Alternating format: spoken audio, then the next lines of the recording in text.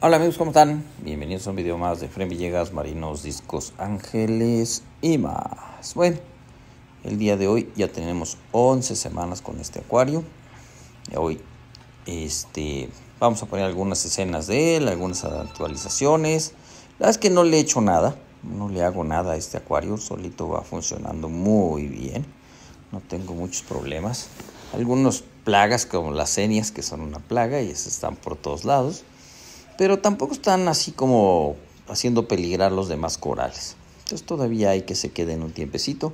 Acuérdense que tiene otras plagas. Este tiene unas balonias y tiene algunas eh, también que ya están empezando a dar lata. Entonces sí tiene, tiene varias plaguillas ahí. Miren, ahora ya es de noche afuera.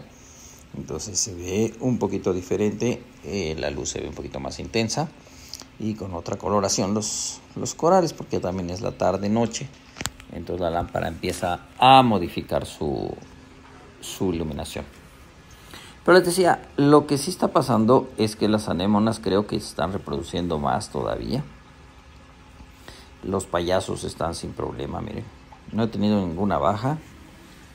Yo creo que tarde o temprano se van a pelear.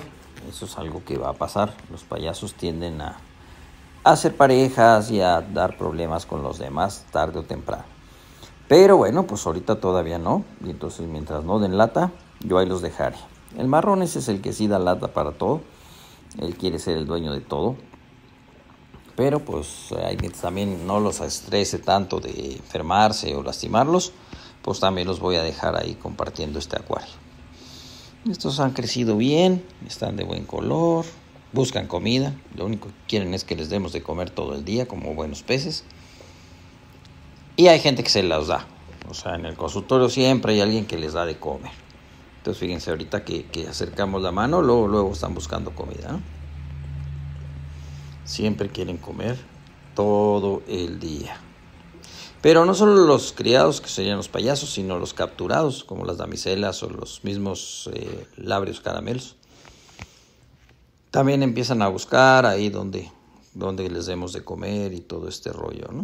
Entonces, les digo que el acuario va muy bien. Ahí se me metió un poco de chaeto que se mete, no sé por qué viene de la bomba o cómo sube de la bomba y aparece en el acuario principal. Entonces, bueno, tengo que hacer un poquito de mantenimiento. Vamos a hacerle un poquito de mantenimiento. Ya es de día. Vamos a hacer un poco de mantenimiento. Vamos a quitar esa chaeto para empezar. Vamos a echarla al SOMP. Vamos a ver. Ah, miren, este tiene muchas de estas asterinas, que son una estrella de mar que se considera plaga. ¿Por qué? Porque luego dicen que sí se comen en los corales. Dicen que se comen a veces a, las, a, los soas y algunos corales duros. Yo no tengo corales duros, que serían ah, acróporas, lo que dicen que se comen. Yo no tengo acróporas, pero sí tengo soas. Entonces, este, pues la verdad es que sí, de repente no sé si se los vayan a comer o no. Yo veo muy bien los OAS, entonces yo supongo que a pesar de que hay muchas de estas asterinas, no se están comiendo los OAS. Vamos a platicar tantitito de estas estrellas y luego seguiremos viendo el acuario. Entonces, ¿qué son? Estas se llaman asterinas y son un género de estrellas de mar que existen en todos los océanos, en el Atlántico en el Mediterráneo, y se reproducen muy fácilmente por fisión, se cortan, les cortan un pedacito y se reproduce. Y entonces eh, tienen la capacidad de invadir a los acuarios como plaga. Yo aquí buscando entre los parazoántidos, vean, no se ve ninguna, no se ven que se los estén comiendo, se ven todos bien, están cerrados un poquito porque se espantaron. Pero eso nos permite verlos bien. Y no veo ninguna asterina ahí molestándolos. Cuando tenía el otro acuario sí veía de repente las asterinas ahí, pero ahora no, no he visto. Y acá hay otro, otros zoántidos ahí atrás, y tampoco tienen asterinas.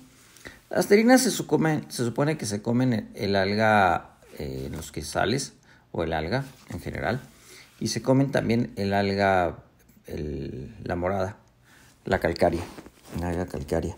Pero yo siempre las veo en los cristales, o donde las veo en los cristales, casi no las encuentro en los corales, yo sí ven, estoy buscando a ver si encuentro alguna pero no encuentro ninguna. Acá de lado tampoco. Entonces yo creo que siempre están en los cristales, ahí atrás hay una. Y miren, esta anémona es la que les digo que yo creo que ya se está reproduciendo. Yo la vi ya demasiado grande. Ahorita vamos a platicar de ella. No vemos ninguna asterina por ningún lado. más que pegadas a los cristales.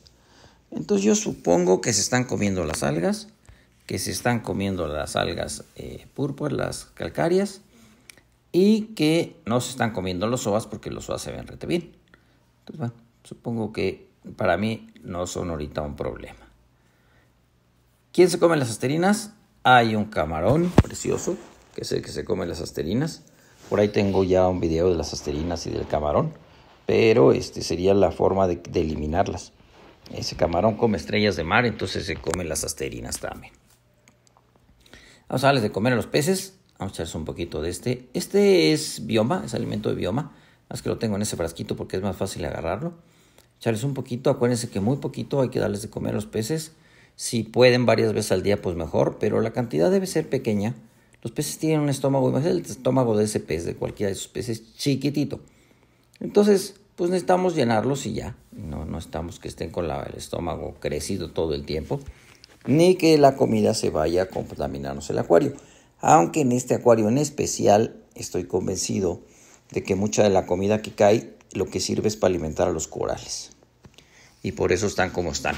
Yo no alimento, yo no audito nada, yo no hago nada con los corales, con las anémonas, con todo. Lo único que hago es dar de comer a los peces, reponer el agua que se evapora y nada más. El son, como les digo, está bien feo. Como todo es temprano, Todavía no se prende la lámpara del, de aquí del, del pero vamos a quitarlo tantito porque ya está bajo el nivel del agua. Miren, yo lo veo con el calentador. Ya que se baja de ahí de la, parte negra, hay que echarle agua dulce. Y ya saben, yo le echo agua dulce de la llave, de aquí de la llave del consultorio, la vez que me va bien con esa. Entonces vamos a reponer, ya se prendió la lámpara, son las 9 de 9 y cachito de la mañana, y ya se prendió la lámpara y vamos a reponer y vamos a poner. Y el swamp, como les digo, no lo he tocado. No quiero quitar esas algas que están ahí. Me iba a traer unos cangrejos turbo y esto que me iba a traer, me iba a traer, me iba a traer para que se las coman y pues podamos ver el swamp, ¿no? Para que veamos a ver qué onda. Voy a echar yo creo que unos turbos allá adentro. Y este, pero bueno, esas están ahí con la idea de que consuman nutrientes y les bajen nutrientes a las que quieren proliferar arriba. Echamos otro poquito de agüita, voy a llenar todo, bueno, llenarle el, nivel a que esté arriba donde está lo negrito del calentador. Que llegue el calentador hasta arriba. Ese es mi, mi nivel del, del, agua que debo estar manteniendo. Lo que sí es que los calentadores yo creo que no están funcionando por alguna razón. Y la temperatura del acuario se ha mantenido bajona. A ver si ahorita la checamos. Pero ha estado como en 22, 23 grados. Sí se siente fría. Pero los todos están bien, entonces mejor ni le muevo. Vamos a limpiar un poquito el alga que está pegada en los cristales, que les digo no es tanta. Le limpio unas dos o tres veces a la semana, le paso rápido este imancito. Y ya con eso hacemos el mantenimiento de este acuario. Cinco minutitos de pasarle el imán, quitamos todo el alga que está por ahí. Reponemos el agua dulce y ya. Ya ni estoy limpiando las esponjas, estaba limpiando las esponjas antes. Acuérdense que esto va a unas esponjas la estaba limpiando, pero ya la estoy limpiando. Mira la temperatura 23, 24 grados, por ahí anda. Entonces, este, sí ha estado medio frión. A lo mejor eso ayuda a que esté todo bien, no sé.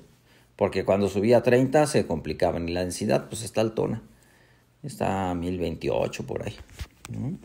Entonces, pues así se mantiene y así he mantenido el acuario. No le quiero mover mucho. Ahí atrás están las esponjas que ya ni estoy limpiando, que estaba limpiando antes, pero ya las dejé que se queden ahí. Este, algún día las limpiaré. Pues el agua se ve bien, se ve transparente y todo. Entonces, este, que se queden. Lo único que tiene es el filtro UV que está ahí atrás con la lámpara UV, que esa sí está prendida 24/7. La lamparita esta vamos a ponerla en su lugar para que ilumine la chaeto que anda por ahí. Ya ni se ve la chaeto, pero sí hay muchísima. Está invadido de chaeto todo ese swamp o ese pedazo del swamp está invadido chaeto. Y un chorro de microfauna, ¿no? Que toda esa microfauna también se come todo lo que cae aquí, la comida que me sobra o las cosillas que caen, se la come toda esta microfauna y nos ayudan a mantener la calidad del agua. Y como aquí no llegan los caramelos, que son los que se comen la microfauna, pues no tenemos problema, tenemos la infauna, decíamos esta, porque la micro no se alcanza a ver, es microscópica. Y estos están bien grandotes. Aquí hay unos gamarus que están bien chonchos. Entonces eso sí se ven y ni modo de que no los pongamos como microfauna. Pues no, eso no es micro, eso es fauna. Entonces, ahí están, entre la chaeto, comiéndose todo lo que cae. Esa, ahí está la caída de agua y ahí caen pues, muchas partículas. La chaeto se la quedan, las partículas. La chaeto la verdad es que sirve bien como un filtro mecánico. Se quedan todas las partículas ahí. Lo malo es que ya pues, se echa a perder, pues se la come todos estos animalillos y no hay problema. Entonces se mantiene el acuario bastante estable. Acuérdense que eso es lo importante en acuarios marinos. En acuarios dulces, también se puede. Mantener la estabilidad es lo ideal. Buscar que todo sea estable, que no cambie cambios importantes, que no haya cambios bruscos y que las cosas vayan poco a poquito. Les decía que esta anémona yo creo que se está reproduciendo. Porque yo ya veo demasiada tentáculos por aquí y por allá y por allá. Vamos a ver si poco a poco podemos saber si hay dos o tres anémonas ya. Era una que había salido, la que se iba a ir al, filtro y a la mera se vino para acá. Y está aquí, creciendo. Sí, por ahí he oído que las anémonas son plagas y, hay gente que se les hacen plaga. Eh, hasta ahorita yo no tengo una plaga, pero si ahí hay dos o tres y hay cuatro o cinco en el otro lado y otra por acá y todo empezó con una anémona hace un año, pues sí empiezas a considerar que son bastantes, ¿no?